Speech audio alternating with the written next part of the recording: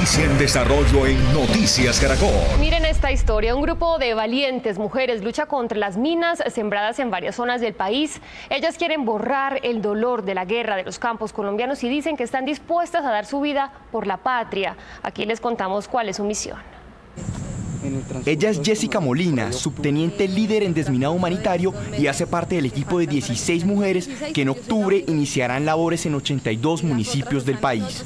Consiste prácticamente en brindarle eh, a las comunidades que están siendo golpeadas o son víctimas de la sospecha de contaminación de minas en todo el territorio del país esa confianza para que nos cuenten, para que nos vean como eh, una mano amiga el coronel Rodrigo Cepeda exaltó el rol de las mujeres en los batallones. Son eh, mujeres que se van a desempeñar como comandantes de los diferentes pelotones de desminado y van a cumplir funciones de comando y control y en algunos pelotones son las que van a ser las encargadas de realizar los estudios no técnicos que tienen que ser los acercamientos con las comunidades. Las mujeres estarán divididas en dos grupos. Seis de ellas recopilarán información en terreno mientras que las diez restantes se dedicarán al desminado seis de estas mujeres hacen parte de los equipos de estudios no técnicos, que es la parte fundamental, una de las partes más fundamentales del desminado humanitario, que es la recolección de información.